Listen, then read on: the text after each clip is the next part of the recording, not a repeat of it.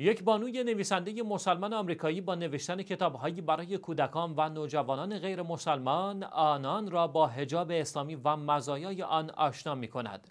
به گزارش شیویوز به نقل از آناتولی هنا خان نویسنده مسلمان آمریکایی که در ایالت مریلند آمریکا به دنیا آمده است به تازگی کتابی با عنوان زیر حجاب من را به نگارش درآورده است. هنا خان یکی از نخستین نویسندگان آمریکایی است که شخصیت‌های مسلمان را به کتاب‌های کودکان منتقل کرده است. وی در این باره به خبرنگاران گفت نکته که بیش از هر چیز می‌خواستم بگویم این بود که زنان مسلمان با پوشیدن حجاب اسلامی به هیچ وجه محدود نمی‌شوند.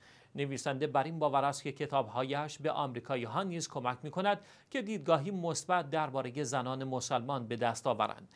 این نویسنده مسلمان تاکنون کتابهای متعددی منتشر کرده که آخرین کتاب وی درباره ماه مبارک رمضان است.